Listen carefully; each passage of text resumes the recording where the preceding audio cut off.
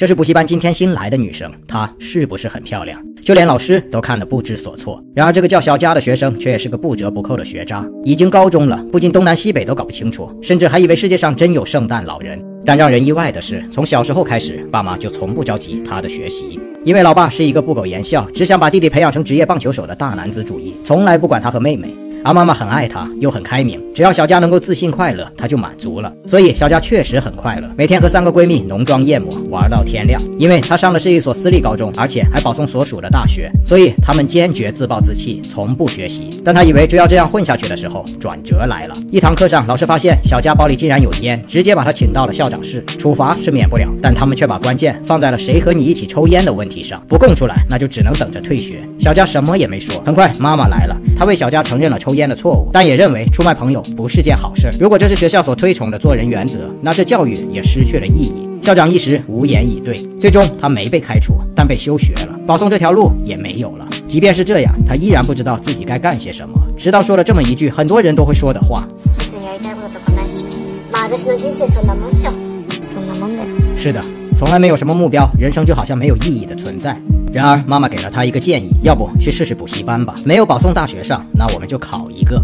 就这样，那个补习班上最美的女生来了。小李老师很快给她做了测试，结果这个高二学生只有小学四年级的水平。从此，她便有了垫底辣妹的名号。但小李并没有因此放弃，甚至还给小佳定了个目标：考上庆应大学。开什么玩笑？这可是日本排行第三的大学，真的要让一个四年级学生备考吗？但小李老师就是这么有意思。他告诉小佳，那里有成群的帅哥，为什么不试试呢？然后小佳就开始了补习之路。然而，老爸对他不抱任何希望，宁愿请宝贝儿子吃大餐，也不给这补习班一分钱，所有费用都。由妈妈一人承担，所以这也更加坚定了小佳的决心。他不能白费妈妈的付出，同时也要让老爸认可自己。这天，补习班又来了个问题学生小王，家里祖上三代都是律师，由于父亲的管教太过于严格，小王产生了严重的逆反心理，天天不学习就是打游戏。小李对这种学生简直太了解了，他只一席话就让小王放下游戏机来到书桌边开始学习。这时，真正的暑假要来了。为了让小佳在暑假也能专心学习，小李许诺他，只要在暑假期间学完初中英语，就给他看自己以前的黑历史照片。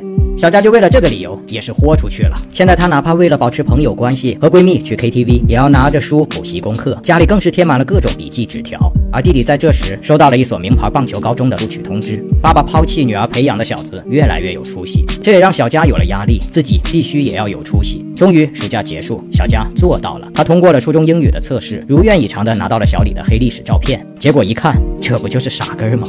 整个补习班都笑了。新的学期，小佳的休学也结束了。班主任也得知了他的目标，他嘲讽小佳：“做美梦呢？就你这小学水平，还想考庆应？”于是二人对赌了。谁输了就在操场裸奔。这天，小佳和小王在路边闲聊时了解到，原来小李老师告诉过他一个绝佳的报复老爸的方式：先考上大学，参加司法考试，但最后就是不当律师。虽然事后小王也明白这只是小李劝他读书的一种方式，但他惊叹的是，小李能尊重自己的每一个学生，为了融入他们，每天都在补习着学生们感兴趣的话题，用自己独到的见解消除着师生间的代沟。两人再来补习班的时候，却发现小佳的班主任来找小李老师了。原来班主任就是为了告诉他，小佳考庆应大学是痴人说梦，一个只有小学水平的渣子，要超过全国六十万的考生根本没戏。然而小李并不这么认为，他告诫小佳的班主任不要再说学生是渣子了，那样只会给他们的思想里埋下一枚种子，认为自己就是个渣子，然后自甘堕落。我还是相信他们是有可能的。小佳和小王听了这番对话，都暗暗发誓一定要努力。但理想是理想，也必须面对现实。小李告诉小佳的妈妈，虽然他很努力，但起步实在太晚。要想真的考上庆应，必须加快补习的进度。这也意味着他连周末都要来补课。而为了实现女儿的目标，妈妈答应了。他又找了一份夜班工作，并把家里的定期存款全部取了出来，加了补课费。而当小佳看到那笔费用时，他明白自己再也不能用玩乐或者赌气的心态去学习了。他必须担起这个责任，给妈妈一个交代。小佳的努力也被闺蜜们看在眼里，她们认真的聊了起来，决定暂时不打扰小佳，让她努力学习。等考成之后再一起 happy，真的很让人感动。这样的友谊无比耀眼。而在不断的学习中，小佳的英语日益进步，历史更是在普及漫画的帮助下突飞猛进。是的，你没有看错，就是漫画。小李老师借给他一套历史漫画，就这样，他了解了很多不知道的历史故事，兴趣的大门一下就被打开了。看来你在自己的世界生活久了，对别的世界真的不了解，甚至可能不知道那个世界的存在。当有人带你踏上了这个新大陆，你真的会发现数不清的宝藏。那带你来的这个人，真的就是一位贵人。对小佳来说，小李就是这位人生的贵人。就是这样一个起初仅仅是为了看帅哥，把目标定在日本一流大学的垫底辣妹，如今也为了明智剪去了自己一头的长发，拼命的投入学习中。而她的努力与坚持也感染着身边的人。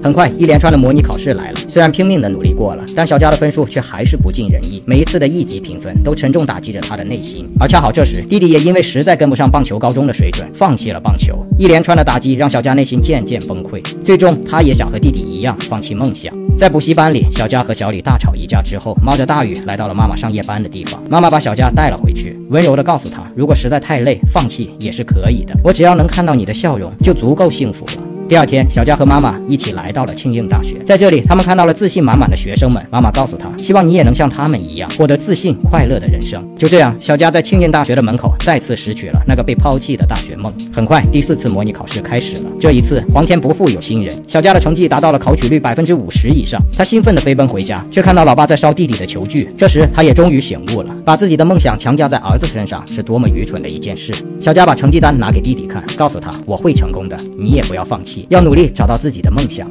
两个月后，考试开始，外头却下起了漫天的大雪，列车都停运了。就在小佳一筹莫展的时候，老爸及时送来了助攻。他开着那辆平时只让儿子上的小巴车，带着小佳前往考场。而到了考场的时候，老爸更是下车大喊：“加油，小佳！”这会儿，他的努力也终于感动了老爸。获得了他的祝福，果然他也顺利的通过了这场考试。小李老师非常开心的送给了他一罐合格咖啡，以鼓励他接下来的考试。很快，庆应大学文学部的考试就来了。当天，小佳把那罐咖啡一饮而尽，但没有想到的是，考场上就因为这杯咖啡坏了肚子，最终导致发挥失常。他并没有考上庆应大学文学部，失落的流下了泪水。而补习班里，小李和小王都在思考着该如何安慰这个曾经如此拼命的女孩。然而事情有时候就是这么意外，小佳虽然没有考上庆应大学文学部，却被综合政策部录取了。身边的所有人都激动不已，班主任更是信守承诺，在毕业典礼上全裸出镜。很快，庆应大学的开学日期要到了，小佳拿着小李老师给他的信，坐上了列车。小李在信上说道：“你曾说是我改变了你的人生，但你也要知道，你努力的样子感动了身边多少人，